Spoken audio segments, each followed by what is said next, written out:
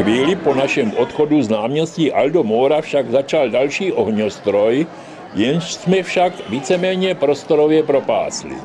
Bohužel byl tentokrát vystřelovaný za bariérou domu hlavního Korza Matino z hotelových rezidencí hotelů Porto a Baja del Zagare směrem k moři a tak nebyl většinou zde korzujících náštěvníků viděn. Možná ho tedy dělali pro ty, co zůstali doma zakuklení v rodinných vilkách níže ležících zdejších ulic. Pro turisty a náhodné chodce, tedy i pro nás, to byla velká škoda. Pro místní a italští znalým se to dalo vyčíst už z propagačních letáků. Pro našince z Čech bohužel propagační letáky jen v italštině byly platné toliko, co mrtvému je platný zimník. Programy jsme si mohli přečíst i na recepci našeho kempu Villa Gioricio, leč drtivá většina zdejších hostů byla italštině neznalá.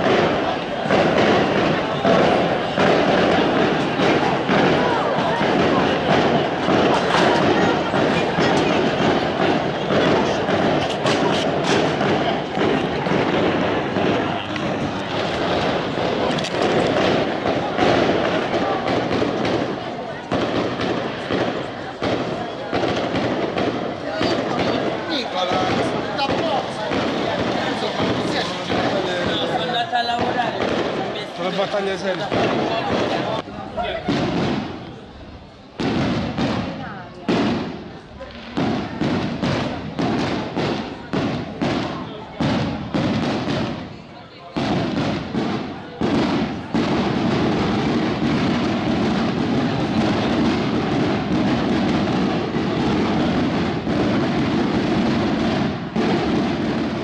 Po skončení této části večerní ceremoniální oslavy jsme se prošli mezi stánky zdejšího promenádního Matino Corza, přičemž jsme okusili něco z místních specialit do žaludku, jenž však nebyl vyhládlý díky stravě v našem kempu Villa Gioricio, kde vařil po celou sezónu kuchařský mladíček z Česka, jenž byl ovšem velmi šikovný.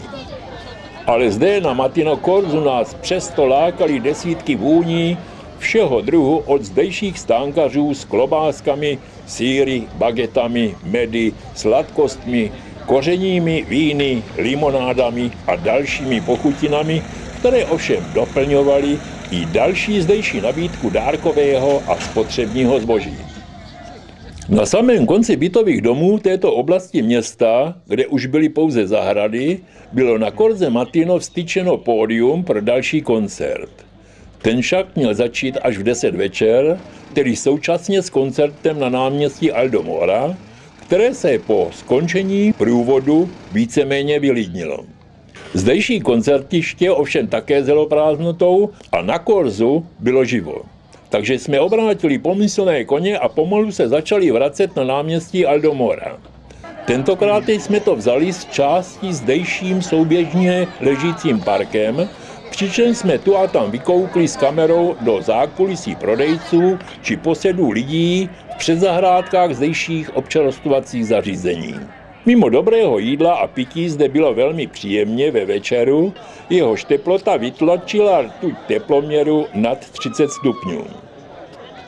Na konci parku, přibližně asi po třetině naší chůze k náměstí Aldomora, jsme vklouzli zpět do promenádního korza, kde se nám zjevila pěkná terasová restaurace, kde nás zaujala výroba a nabídka jakýchsi plněných kapsí, které hodně voněly. Ale protože už jsme také hodně ochutnávali, před touto předposlední cestou, touto ulicí, už jsme museli odolat.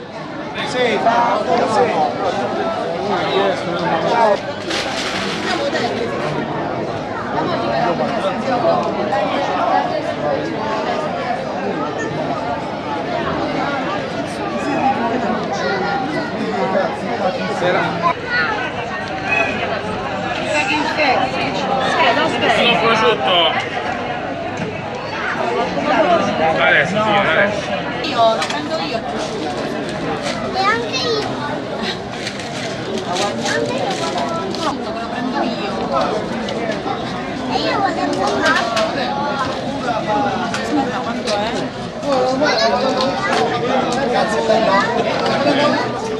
Před náměstím Aldomora nám signalizovali dva na zemi ležící heligony, že jsme na začátku koncertu o nic nepřišli, ale volnou židli jsme opravdu dost dlouho na náměstí hledali. Jedna volná se však naštěstí našla mezi těmi, na níž seděli nějaké dámy ze Žiaru nad Hronom, tedy pro mne jako dříve narozeného, to byli našinci, žádní cizinci.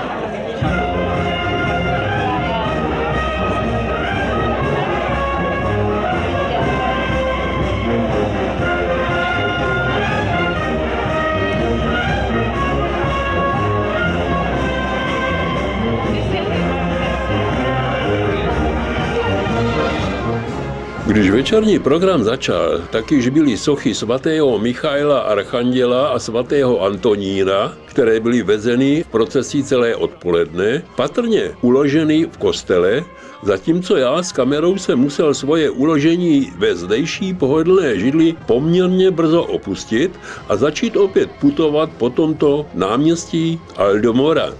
Bohužel oni svatí se vozili, ale já jsem musel pěšmo.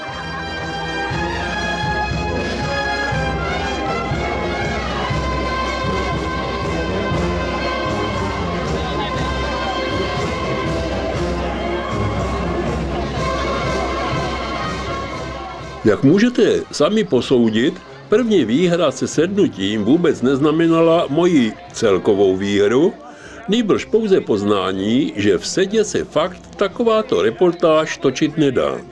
Nejprve bylo ještě sedíce žduchání dozad, což byl první pohyb rozkymácené kamery, neboť se opozdilci na koncertě tlačili na svoje předem zabukované židle v řadě za zády a tedy do mě žduchali, ale velmi záhy bylo i hůře, neboť domácí matíňané, čili lidé slunce, bohužel zářili i zde, nejen když si stoupali před objektiv mojí kamery, nevnímaje, že jinému cloní ve výhledu na koncertní těleso, ale současně se halasně bavili do hudby z produkce kapely Manfredonia, která ovšem není zdejší z Matinaty, i když jsme to v průběhu komentáře několikrát řekli, Nýbrž je to něco jako orchestr školní, což nesnižuje jeho vážnost, spíše naopak, a ve srovnání s Českem jde patrně o něco jako u nás orchestr Brněnské konzervatoře.